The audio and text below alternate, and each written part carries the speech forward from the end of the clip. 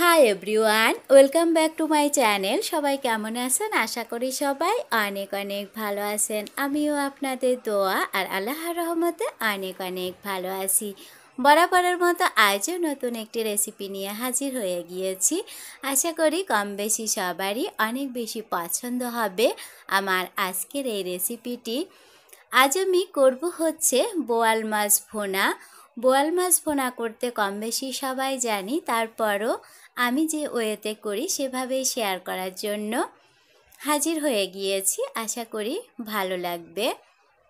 তো বোয়াল মাছ ফোনা করার জন্য এখানে আমি আট পিস বোয়াল মাছ, লবণ, হলুদ, লাল মরিচের গুঁড়া আর সঙ্গে হাফ চা চামচ পরিমাণ আদা বাটা, হাফ চা চামচ পরিমাণ রসুন বাটা দিয়ে খুব ভালোভাবে মেখে এক ঘণ্টা মতো ম্যারিনেট করে রেখেছিলাম। এখন এই মাছগুলোকে আমি একটু ফ্রাই করে নিব। আর রান্না করার জন্য মাছটা কিন্তু খুব একটা বেশি ফ্রাই করলে ভালো হয় না। আমি বরাবরই এভাবেই একটু ফ্রাই করে থাকি আর কি। আসলে পছন্দটা সম্পূর্ণই যার যার মতো। যে যেরকম করে ফ্রাই করে নিতে পছন্দ করেন, সে সেভাবে করে নিলেই হবে। তো মাছের একটা সাইড ফ্রাই করা হয়ে গিয়েছে, অপর সাইডটা ফ্রাই করার জন্য আমি একটু উল্টিয়ে দিব। আর এই কাজটি একটু সাবধানে করতে হবে, যেহেতু মাছের সাইজ একটু বড়। মাছগুলো যেন কোনোভাবেই ভেঙে না যায়, এজন্য একটু সতর্কভাবে মাছগুলো উল্টিয়ে দিতে হবে। রেগুলার আমরা যারা রান্না বান্না করি, আমরা কিন্তু যে কোনো টাইপের যে কোনো ধরনের কাজই কম বেশি একটু জানি। আমার নতুন রাঁধুনি আপু, তোমরা যারা আছো, তোমরা যখনই যে কোনো টাইপের রেসিপি করো না কেন, চেষ্টা করবে একটু সময় ধরে করার জন্য। এতে করে কিন্তু পারফেক্ট রেসিপি করা যায়।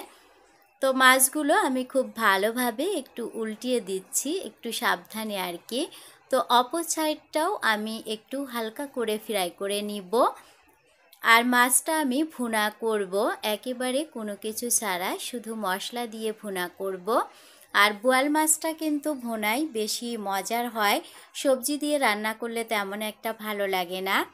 একটু যদি পেঁয়াজের পরিমাণটা বাড়িয়ে ভুনা করা যায়, তাহলে কিন্তু অনেক বেশি মজার হয়। আমার মনে হয় আর কি। আসলে পছন্দটা সম্পূর্ণই যার যার মতো যে যেরকম করে রান্না করতে পছন্দ করেন সে সেভাবেই করে নিতে পারবেন। তো মাছগুলো ফ্রাই করা হয়ে গিয়েছে। এখন ওই একই তেলের মধ্যে এখানে আমি অ্যাড করে দিব এক কাপ পরিমাণ পেঁয়াজ। আমি একটু কুচি করে নিয়েছি।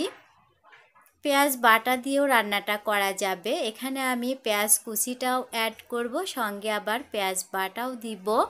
পেঁয়াজ কুচি দিয়ে এইভাবে ভোনা করলে স্বাদটা অনেক বেশি হয়। চেষ্টা করবেন এইভাবে ভোনা করার। তাহলে বুঝতে পারবেন এভাবে ভোনা করলে কতটা মজার হয়। পেঁয়াজগুলো আমি একটু ভেজে নিব।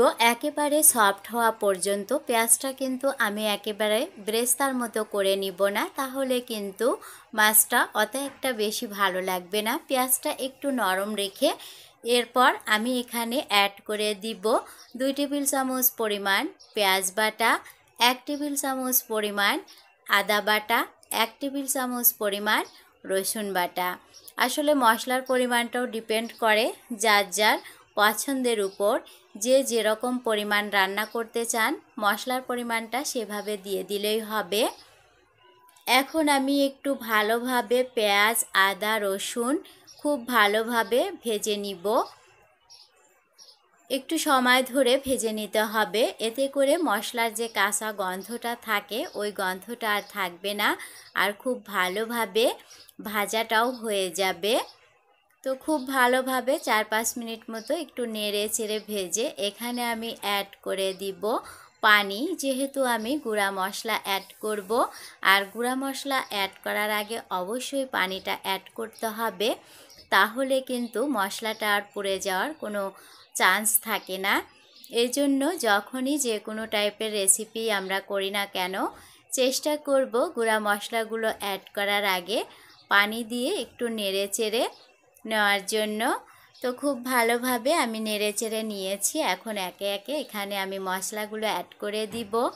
দিয়ে দিব স্বাদ অনুযায়ী লবণ সেই সঙ্গে অ্যাড করে দিব বেশ কিছু কাঁচামরিচ। সেই সঙ্গে অ্যাড করে দিব হাফ চা চামচ পরিমাণ হলুদ গুঁড়া, এক টেবিল চামচ পরিমাণ লাল মরিচের গুঁড়া হাফ টেবিল চামচ পরিমাণ জিরা গুঁড়া দিয়ে খুব ভালোভাবে একটু নেড়ে চেড়ে মশলাটাকে কষিয়ে নিব। যে কোনো টাইপের ভুনা রেসিপি আমরা করি না কেন, চেষ্টা করব মশলাটাকে একটু সময় ধরে খুব ভালোভাবে কষিয়ে নেওয়ার জন্য। মশলাটাকে যত সময় ধরে কষিয়ে নেওয়া যাবে, ভুনা রেসিপি কিন্তু ততটাই মজার হবে। আসলে আমি যেভাবে ভুনা টাইপের রেসিপিগুলো করি, চেষ্টা করি সেভাবেই শেয়ার করার জন্য। আশা করি আপনাদেরও ভালো লাগবে। আর এইভাবে ট্রাই করে দেখবেন, আমার বিশ্বাস আপনাদেরও অনেক বেশি ভালো লাগবে। তো এখন এই পর্যায়ে এখানে আমি দিয়ে দিব তিনটি এলাচ আর তিন টুকরা দারুচিনি। অপশনাল কেউ চাইলে দিতে পারেন, আবার না চাইলে নাও দিতে পারেন। তবে বড় যে কোনো টাইপের মাছই হোক না কেন, ভুনা করলে আমি একটু এলাচ, দারুচিনি এগুলো অ্যাড করি আর কি। আমার কাছে মনে হয় যে এগুলোর ফ্লেভারের কারণে মাছ ভুনাটা অনেক বেশি মজার হয়। তবে কেউ যদি পছন্দ না করেন তো না দিলেই ভালো। তবে দিলে কিন্তু অন্যরকম একটা টেস্ট অ্যাড হয় আর কি। তো মশলাটা খুব ভালোভাবে কিন্তু কষিয়ে নিতে হবে। আর দেখতেই পাচ্ছেন আমি কিন্তু অনেকটা সময় নিয়ে এরপর মশলাটাকে কষিয়ে নিচ্ছি। যত সময় ধরে কষিয়ে নিতে পারবেন রেসিপি ততটাই মজার হবে। তো খুব ভালোভাবে কষানো হয়ে গিয়েছে। এখন এই পর্যায়ে আমরা আগে থেকে যে মাছগুলো ফ্রাই করে রেখেছিলাম, এখন মাছগুলো দিয়ে দিব। আর খুবই সাবধানে, যেহেতু গরম তেলের কাজ, একটু সাবধানেই করতে হবে। আমার নতুন রাঁধুনি আপু, তোমরা যারা আছো, তোমরা যখনই যে কোনো টাইপের রেসিপি করো না কেন, চেষ্টা করবে একটু সময় ধরে আর সাবধানে করার জন্য। একটু সময় ধরে আর সাবধানে করলে কিন্তু রেসিপিটাও যেমন অনেক বেশি মজার হয়, আবার যত্ন আর ভালোবাসার কারণে রান্নাটাও কিন্তু অনেকটাই মজার হয়। তো সবগুলো মাছ দেওয়া হয়ে গিয়েছে। এখন এই পর্যায়ে আমি পানি অ্যাড করে দিব। আমরা কিন্তু আগে থেকে মাছটা ফ্রাই করে নিয়েছি। আবার মশলাটাও অনেকটা সময় ধরে খুব ভালোভাবে কষিয়ে নিয়েছি। এখন এই পর্যায়ে আমি মাছগুলোকে দুই ব্যাচে কষিয়ে নিব। এখানে আমি এক কাপ পরিমাণ পানি দিয়ে দিয়েছি। কষিয়ে নেওয়ার জন্য সেম প্রসেস ফ্লো করে আমি আবারও দেড় কাপ পরিমাণ পানি অ্যাড করে খুব ভালোভাবে মাছটাকে ফাইনালি রান্না করার জন্য কষিয়ে নিয়েছি। যেহেতু আমরা ভুনা করব, এর কাজই কিন্তু হচ্ছে কষিয়ে নেওয়া। তো খুব ভালোভাবে আমি দুই ব্যাচে কষিয়ে নিয়েছি। আপনারা চাইলে এইভাবে রেসিপি ট্রাই করে দেখতে পারেন। আমার বিশ্বাস আপনাদেরও অনেক বেশি ভালো লাগবে। তো এই পর্যায়ে আমি মাছগুলো একটু উল্টিয়ে দিব। এতে করে মশলার ফ্লেভারগুলো মাছের মধ্যে খুব ভালোভাবে ঢুকবে আর মাছগুলো খেতে কিন্তু অনেক মজার হবে।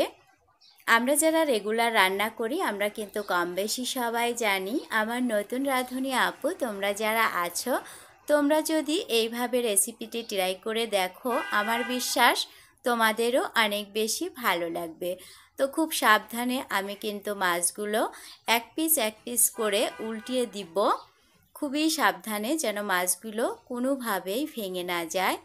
মাছগুলো ভেঙে গেলে কিন্তু ওই রেসিপিটাই একেবারে বাজে হয়ে যায়। এই জন্য এই টাইপের কাজগুলো একটু সাবধানে করতে হয়। তো আমি সবগুলো মাছ খুব ভালোভাবে উল্টিয়ে দিয়ে রান্না করব ঠিক ততক্ষণ পর্যন্ত। যতক্ষণ পর্যন্ত না একেবারে পানিটা টেনে তেলটা উপরে উঠে আসে। এভাবে রান্না করলে কিন্তু বোয়াল মাছ ভুনা অলমোস্ট রেডি হয়ে যাবে। একেবারেই সহজ হয়েতে করে দেখানোর চেষ্টা করেছি। আমার বিশ্বাস কম বেশি সবারই ভালো লাগবে। বিশেষ করে যারা মাছ ভুনাটা অনেক বেশি পছন্দ করেন, আমার আজকের রেসিপিটি তাদের জন্যই। যারা আমার চ্যানেলটিকে সাবস্ক্রাইব করেছেন, তাদের অসংখ্য অসংখ্য ধন্যবাদ। আর যারা এখনও আমার চ্যানেলটিকে সাবস্ক্রাইব করেননি, আমার ভিডিওগুলো দেখতে থাকুন। দেখতে দেখতে যদি কখনো ভালো লেগে যায়, তাহলে সাবস্ক্রাইব করে দিবেন। সঙ্গে একটি করে লাইক, সেই সঙ্গে ভিডিওটা প্রথম থেকে শেষ পর্যন্ত দেখার অনুরোধ রইল। তো আমার মাছটা কিন্তু প্রায়ই হয়ে এসেছে আর এই পর্যায়ে আমি চুলা রাসটা একেবারে লো ফ্লেমে রেখে আরও দশ থেকে পনেরো মিনিট মতো জাল করে নিব। যেন কোনো রকমে পানি না থাকে, কারণ যে কোনো টাইপের ভুনা রেসিপি হোক না কেন, একটু পানি পানি থাকলে কিন্তু বেশি একটা স্বাদের লাগে না। এই জন্য একেবারে পানিটা শুকিয়ে যখন তেলটা উপরে উঠে এসে যাবে সেই পর্যায়ে কিন্তু বোয়াল মাছটা খুব ভালোভাবে ভোনা হয়ে যাবে। আমার বিশ্বাস, আমার আজকের রেসিপি সবারই অনেক বেশি ভালো লাগবে। তো মাই লাভলি ভিউয়ার্স এই ছিল আমার আজকের আয়োজন। আবারও হাজির হয়ে যাব নতুন কোনো কিছু নিয়ে। সে পর্যন্ত সবাই অনেক বেশি ভালো থাকবেন। আমাদের জন্য দোয়া করবেন। আল্লাহ হাফেজ।